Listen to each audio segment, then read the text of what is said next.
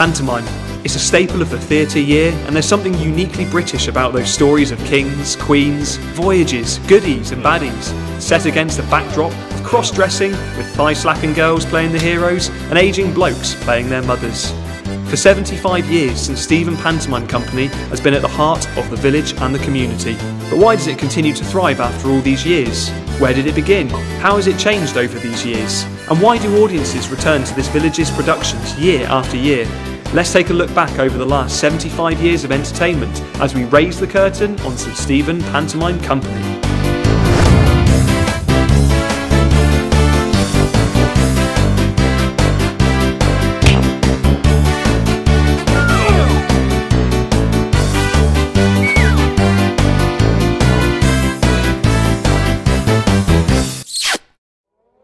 What was your first one then?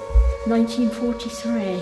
I think it was 1950. 1960. It's good teamwork. We work really well together as a team, all of us. You know, no one is up the forefront. Everybody works together.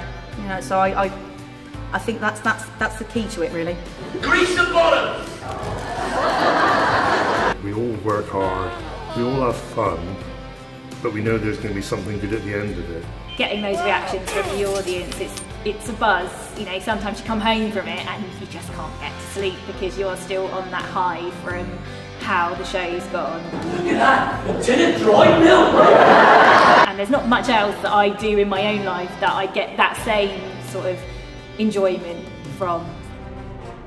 The hut had to explode and, and the roof, part of the roof come off. It did come off. It, it disappeared from one side of the stage to the other. We've had a few explosions. You know, we don't practice with those because they're, you know, pyros are very expensive items.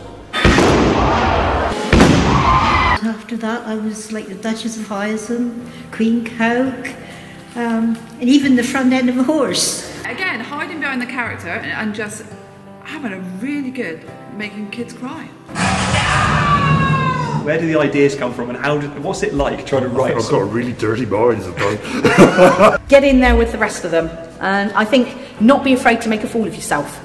That is that's the best thing. And if you like wearing women's clothes, all the better. Well, I must say it's more professional now, Paul, to be fair about it. For a village pantomime, it is. I mean, your, your lighting, of course, and your, your sound system. I see some of them now and yeah, I think, oh gosh, I remember their granddad in it. In a time where things don't last very long, you know, the fact that this group has been going for 75 years shows how much it means to this community. I think the support we had from all the other pantomimes in the district, I think they have helped out a lot to make our 75th pantomime a success. It is a long time and lovely to think that we could manage to keep it going for so long. Yeah, you've got to have the laughs. I think you've definitely got to have the laughs. And without laughter, life's boring. We've got brilliant scenes, costumes, music is fantastic. You know, I, I could say more, but I expect Steve's covered it as usual.